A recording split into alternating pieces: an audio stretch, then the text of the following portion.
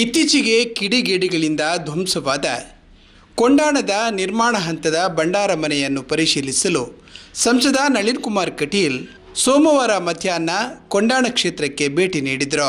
ದುಷ್ಕರ್ಮಿಗಳ ಕೃತ್ಯವನ್ನು ಪರಿಶೀಲಿಸಿದ ಅವರು, ಮಾಧ್ಯಮಗಳ ಜೊತೆಗೆ ಮಾತನಾಡುತ್ತಾ, ಈ ಬಗ್ಗೆ ಪೊಲೀಸ್ ವರಿಷ್ಠಾಧಿಕಾರಿ ಮತ್ತು ತಹಶೀಲ್ದಾರ್ ಅವರ ಜೊತೆಗೆ ಮಾತನಾಡಿದ್ದೇನೆ. ಕಿಡಿಗೇಡಿ ಕೃತ್ಯ ಮಾಡಿದವರ ವಿರುದ್ಧ ಕಾನೂನು ಕ್ರಮ ಕೈಗೊಳ್ಳುವಂತೆ ಆಗ್ರಹಿಸಿದ್ದೇನೆ ಎಂದರು.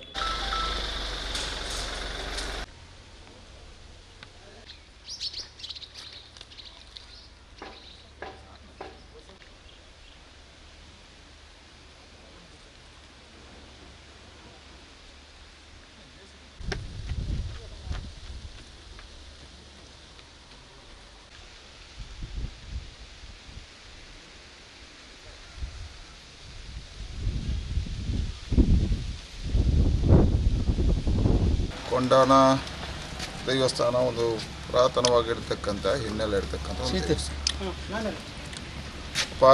ಭಕ್ತ ವೃಂದವನ್ನು ಹೊಂದಿರತಕ್ಕಂಥ ಈ ಕ್ಷೇತ್ರ ಒಂದು ನಂಬಿಕೆಯ ಕ್ಷೇತ್ರ. ಕಳೆದ ಎರಡು ದಿನಗಳ ಹಿಂದೆ ಈ ಕ್ಷೇತ್ರದಲ್ಲಿ ನೂತನವಾಗಿ ನಿರ್ಮಾಣ ಆಗಿರತಕ್ಕಂಥ ಒಂದು ಭಂಡಾರದ ಮನೆಯನ್ನು ಹೊಡೆದಾಕುವಂಥ ಪ್ರಕ್ರಿಯೆ ನಡೆದಿದೆ. ಇದನ್ನು ನಾನು ಖಂಡಿಸ್ತೇನೆ.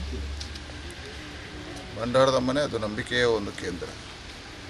ನಂಬಿಕೆಯ ಕೇಂದ್ರವನ್ನೇ ಯಾವುದೇ ಕಾನೂನು ಆಧಾರ ಇಲ್ಲದೆ ಇವತ್ತು ಹೊಡೆದಾಕಿರುವಂಥದ್ದನ್ನು ಖಂಡಿಸ್ತೇನೆ. ಇದನ್ನು ತಕ್ಷಣ ನಾನು ಜಿಲ್ಲಾಧಿಕಾರಿಗಳ ಹತ್ರ ಏನಾಗಿದೆ, ಯಾಕೆ ಕೇಸ್ ದಾಖಲಾಗಿದೆ, ಯಾವ ರೀತಿ ಇದೆ ಅಂತ ಹೇಳುವಂಥದ್ದು ತಿಳ್ಕೊತೀನಿ